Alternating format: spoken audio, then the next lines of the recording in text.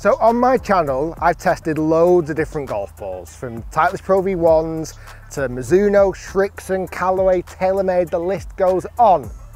But you guys in the comments section constantly ask me to test the Vice golf balls.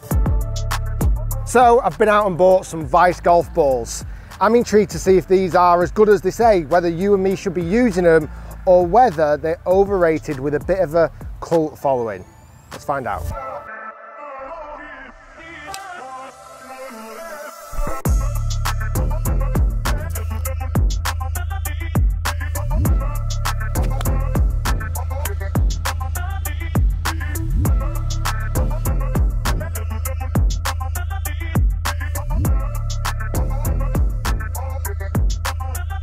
So this ball I'm testing today is the Vice Pro Plus. And there's quite a number of Vice golf balls. I actually went online and did a ball selector and actually went through, answered loads of different questions on how fast do I swing it, what do I normally score, how far do I hit my seven iron, and this is the ball it recommended me to pick. So I went to buy two dozen and actually they were sold out. So I actually went on Amazon and bought them in the end. But on the website, they're 30 pound a dozen. And you think about that as a, as a premium golf ball, which these golf balls are trying to be, compare that to the price of a Pro V1 or a TP5. They're about a pound a ball cheaper, roughly. And the whole idea of it, because it's direct to consumer, it's only online. You do not see Vice Golf Ball in pro shops, for example. You don't see them in big retail stores. And another reason why they might be able to make them cheaper is they don't spend a load of money on sponsoring the best players in the world. So you won't really see Vice Golf Ball out on tour. But they've got a massive reputation, like this weird, as I mentioned before, this cult following. People seem to love this brand of golf balls. So what I'm gonna do, I'm gonna get them on the golf course today, test it for feel, what the spin's like, what the performance overall is like. I'm also really keen on checking durability because if this ball is lower cost price point, is it for the reasons I've just listed before why it's potentially cheaper or is it the fact the materials aren't as good? Like, is this cover gonna cut up more than a normal golf ball, a premium ball like a Pro V1 or a TP5, etc.? We'll find that out. Also, I wanna test it for distance. I've got my GC quad. We're gonna test it out on the golf course to see how far this ball flies.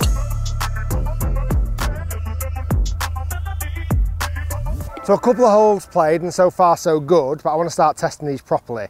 First place I like to start with a golf ball is on the green. Let's see how these feel hitting some putts and some chips from close range.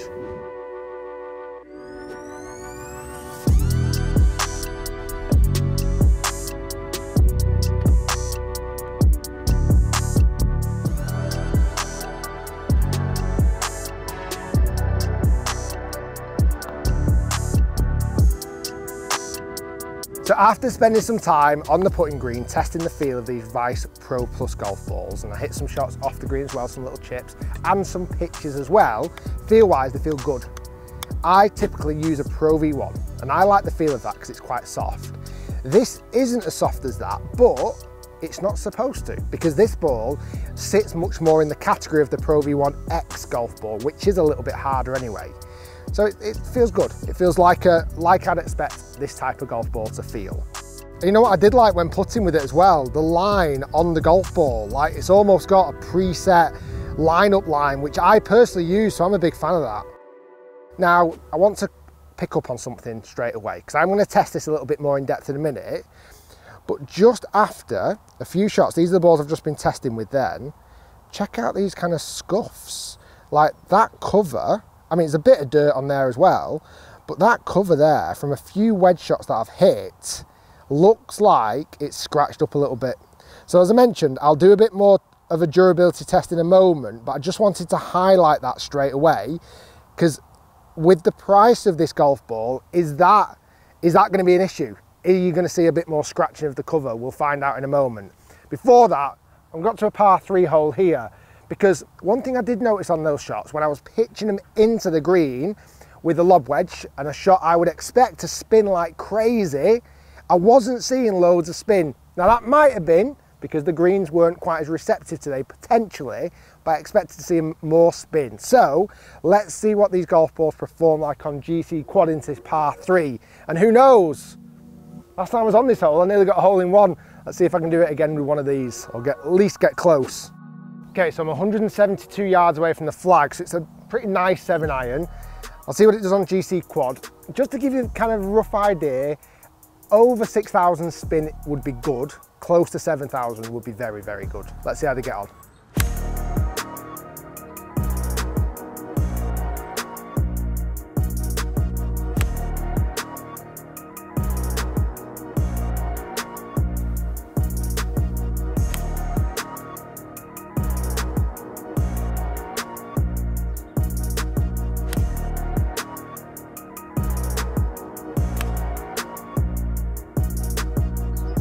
So I didn't get a hole in one, so basically that ball's rubbish. no, but in all seriousness, I hit some nice shots there. I didn't get it dead close to the flag, but I was more trying to get consistent distances and spin. Now, bar the first shot, which I'll be honest, I hit a little bit fat, the other five shots have done very, very good on distance control. Not only on what I've seen on GC Quad, but also what I've seen on the green. I want to show you this. This last one, 165 yards of carry distance, which is about what I normally get. 7,759 RPM spin. That's high, like really high. So from what I saw in that wedge shot and the data I'm getting here, maybe those wedge shots just weren't in prime spinny position, but the spin on there and the numbers I was getting on GC Quad are very, very good. Right, next test, durability, cut one in half, and then finally I want to test it with driver on this thing. Let's see how they do with the big stick. So before I finish off the testing of these balls, I want to run a giveaway. One on YouTube, one on Facebook. So if you watch on either platform, you can enter to win a dozen of these Vice Pro Plus golf balls. If you're on YouTube, make sure you subscribe to the channel and like the video, leave a comment down below and I'll pick someone at random and if you're on Facebook, make sure you're following the page, like the video, and again, leave a comment down below. I'll pick someone at random to win a dozen of these Vice golf balls. Right, what I'm gonna do, my somewhat trademarked durability test now. I'm gonna take a brand new one out of the box. I'm gonna hit 10 out of this bunker. And what I found hitting them out of bunker in the past is that debris and that debris and also hitting it with a lob wedge can often scuff up the cover. Let's see how these Vice golf balls go in this test. After seeing those little scratches, I'm not sure. We'll find out.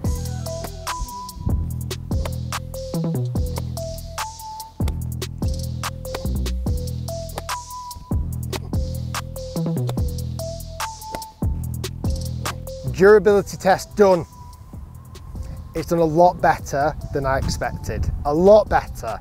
There is one bit of a, a, scuff mark on the actual Vice logo, but I have seen many a golf ball do much worse in a durability test like this. That's impressed me more than I thought it was gonna do. I did, after those early signs, I thought it was gonna scratch up, but it's really not. We're going one more test off the tee because I've tested quite a lot of golf balls at a lower price point recently, and one of them comes to mind like Costco, when they're making the golf ball themselves and selling direct to consumer, they can make them cheaper because they're not spending all this money on these superstar players like some other brands might be doing. The big downfall with Costco ball, it was short off the tee. Like hitting it with driver just didn't seem to pop. So I'm intrigued to test this off the tee to see what it's like on distance. Before we get to there though, this would not be a Rick Shiels ball video if we didn't chop one in half. I think this one's supposed to be a four piece construction. I'm intrigued to see what the inside of it looks like and also if everything looks in toward. I feel like, already seeing glimpses, I feel like it's going to be quite colourful. Mm, very nice. So you've got the four-piece construction there. You've again, yeah, I've actually seen this from quite a few brands now where the that first layer is almost like a, a, a squishy kind of tran transparent material. Inside you've got the bright green and the black inner core. That's very, very clean. Very nice. All looks symmetrical, all looks to order. Now, without further ado, let's get to the last hole. Let's get driver teed up and see if the Vice Pro balls can do it with distance. So everything's set up for the distance test. Let me summarise first, so far. I've enjoyed testing these golf balls. Like this Vice Pro Plus golf ball is ticking all the boxes. Feels good around the green. It spins well. Certainly spinning into that par three was very impressive. Durability, definitely did better than I expected it to do. So the last test I mentioned is going to be the distance test.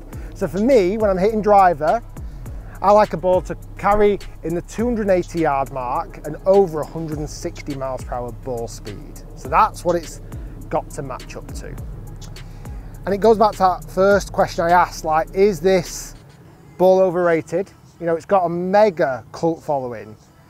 Feels like all the cool kids use Vice golf balls because it's kind of, I, I get it as well, it's a bit different. And like even touching on the box, like it's a cool looking box, matte black with almost like the Vice tattooed into the top of it.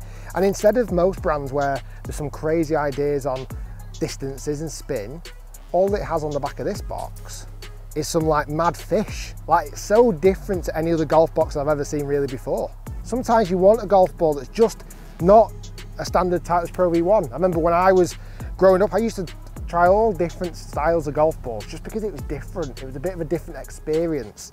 And again, the price on these balls, I mean, the, in some cases, 15 pound a dozen cheaper than a Pro V1 or a TP5. That's massive.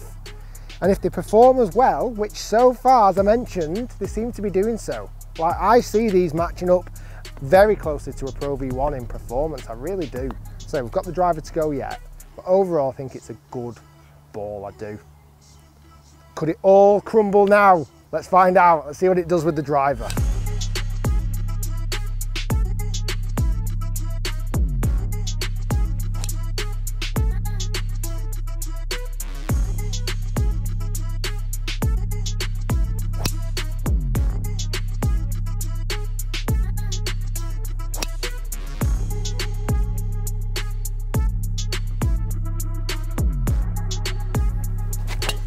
So driver test complete. And after hitting five shots with the big stick and the Vice Pro Plus golf balls, distance wise, averaged 280.2 yards. So tick, it hit the criteria. 161 miles per hour ball speed, an average spin of 2,200 spin. The flight was superb, like really good. Going back to that point, the over, uh, overrated or whatever it may be, no, they're a very good golf ball and definitely worth trying without question. As I mentioned, you can have a chance of winning a dozen. Make sure you like the video, subscribe and leave a comment on Facebook or YouTube. Or if you want to switch over to either, you can do both as well. Guys, thanks for watching. It's my review of the Vice golf balls. You guys recommended it. And I'll be honest, you didn't let me down. They're a very good golf ball. We'll see you next time.